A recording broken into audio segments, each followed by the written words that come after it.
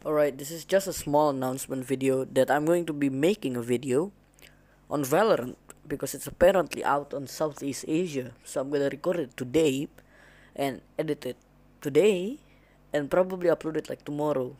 So stay tuned. Just a small announcement because I've been gone for a long time.